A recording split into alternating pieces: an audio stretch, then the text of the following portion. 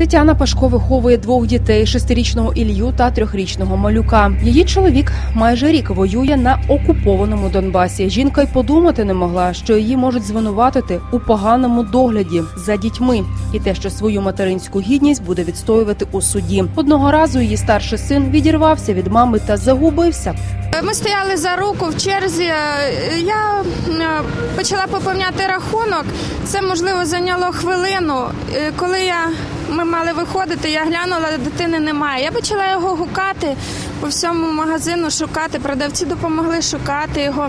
Вибігла на вулицю в розпачі, позвонила на 102, е, звернулася по допомогу. е, Позвонила мамі. Врешті дитина знайшлася через 8 хвилин. Та на виклик правоохоронців зі слів жінки не зреагували, оскільки дитина швидко знайшлася. Здавалося, стрес позаду, але тоді тільки все для Тетяни розпочалося. Так і не приїхали е, міліція мені допомогти.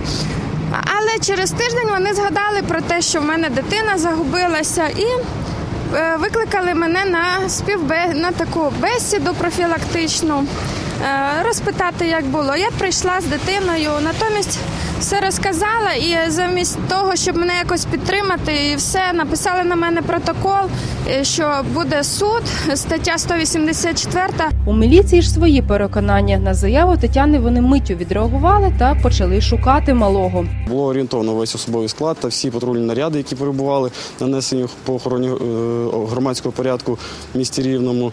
Е, Орієнтували по одягу, орієнтували, скажімо, по віку, по опису, щоб встановити місце знаходження даного неповнолітнього. Те, що дитина знайшлася для правоохоронців, аргументом не стало. Та вони оформили на Тетяну адмінпротокол за неналежне виконання батьківських обов'язків. По статті 184 е, суб'єктивна сторона передбачає е, не прямий умисел, а не тільки прямий умисел, а також передбачає, е, скажімо, що з необережності сталася дана подія.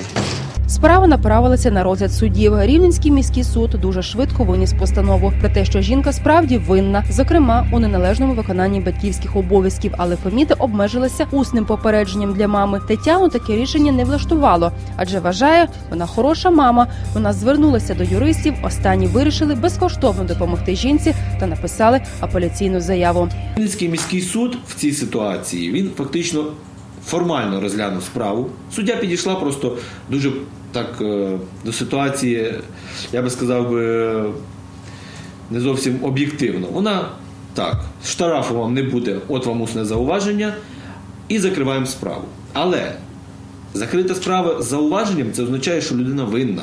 Адвокати мали рацію і в апеляційному суді винесли рішення, що Тетяна ні в чому не винна, а звинувачення рівненських міліціонерів безпідставні.